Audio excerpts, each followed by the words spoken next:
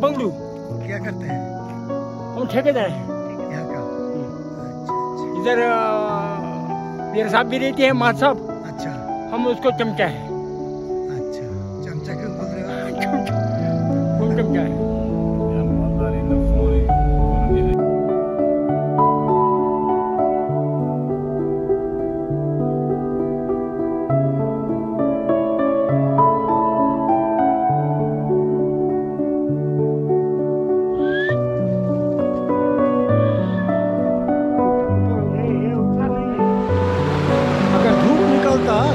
बढ़िया होगा।